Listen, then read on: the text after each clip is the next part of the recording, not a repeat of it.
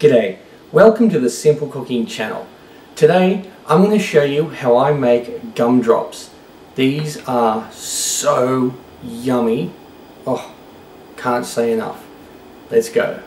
Simple cooking, simple cooking, simple cooking channel.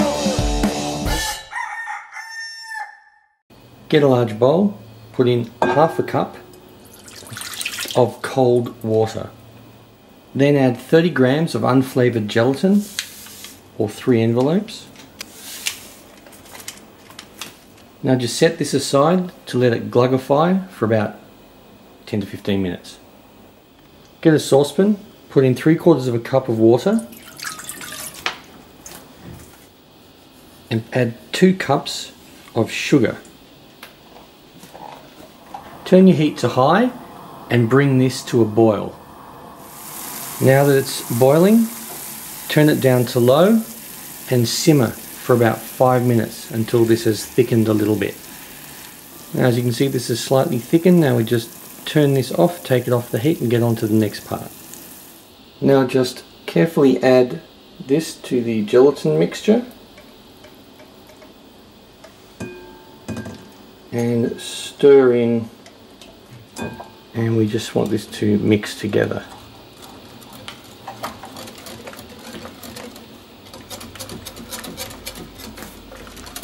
Just keep doing this until the gelatin has dissolved. Now get some bowls. It really depends on how many colors you want to make of this. If you want to do five colors, you'll need five bowls. We need to separate the mixture.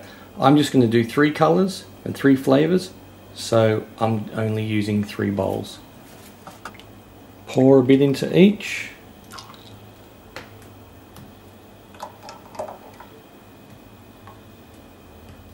Now choose a different food colouring for each one.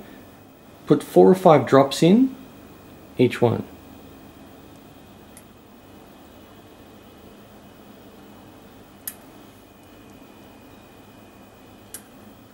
Then add half a teaspoon of whatever essence or extract you wish to add. For the red I'm using strawberry essence. For the green, peppermint essence. And for the blue, vanilla essence, just to mess with people. Now just mix each one in. Now for this, use some sort of mold. I'm using ice trays because they work really well for this. Just give it a quick little spray with some sort of cooking oil or something just so it doesn't stick. Pour your mixtures in containers with a spout or you can just spoon it in whichever is easier and just put however much you want in each mold. Now pop these in the fridge for at least 8 hours or overnight. Now just get a bowl of sugar, any type type's fine, could be white sugar, raw sugar, whatever, and a plate or something to put these on. Now once these have been in the fridge overnight or for 8 hours, take them out, they'll look like this, and just dip them or roll them straight in the sugar.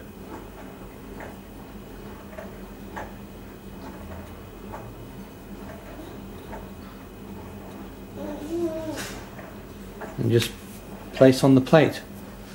Alrighty, once you've done that, now just leave this on the counter for about 24 hours so it slightly crystallizes and then it's ready. You can eat them now if you want, but leaving it for 24 hours makes it even better. Well, I hope you like these. Yeah. So good. Which one to try? Strawberry. As I said, leave them out for 24 hours so they crystallize, so they go sort of firmish or, or on the outside, or you can just eat them straight away. That's still going to be just as yummy.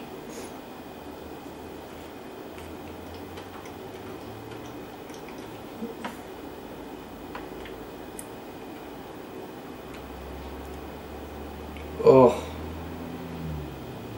that is something special. These are so good. I'll see you next time for my next meal. Mm.